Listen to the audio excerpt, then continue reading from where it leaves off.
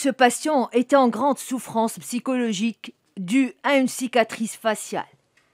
Mais bientôt, il pourra retrouver le sourire. Il est l'un des 500 cas retenus pour une chirurgie maxillofaciale. Des dizaines d'interventions sont réalisées au quotidien dans le cadre d'une opération humanitaire à l'hôpital Ibn Tofayl de Marrakech.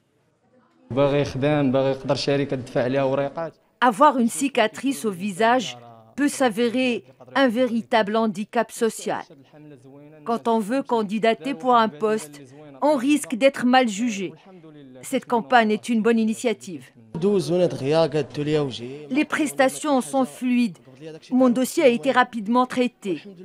48 heures après l'intervention, la cicatrice est en voie de guérison.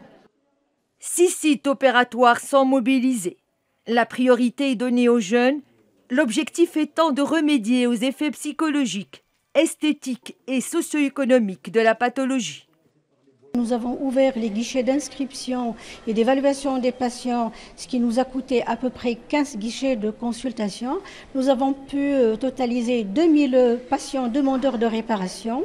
Donc nous avons évalué et, vu toute euh, cette masse et euh, sur photo, nous avons pu sélectionner les patients d'abord qui ont besoin d'une opération imminente et nous, nous sommes assis sur 500 patients.